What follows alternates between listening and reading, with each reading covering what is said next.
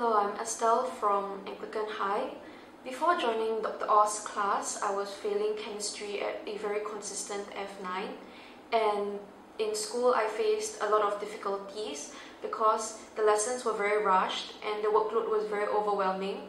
There were also a lot of tests and I could not keep up with the general pace that the class was moving at. So this was when I decided to join Dr. Oz class at Uptas Learning Hub and I would say that this has been one of the best decisions in my edu educational journey. So at Dr. Oz class, his, his teaching style is very varied and helps to um, help students to approach chemistry in a very manageable and easy manner.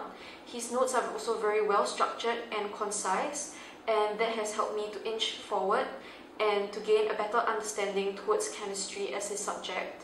So from a F9 in my Sec 3 and Sec 4 grades, I finally managed to attain A2 in chemistry at O levels and this has been a very big jump for me that I thought was impossible before joining Dr. Oz class. So I would recommend this class for any students that are facing difficulties in chemistry um, at any point of time.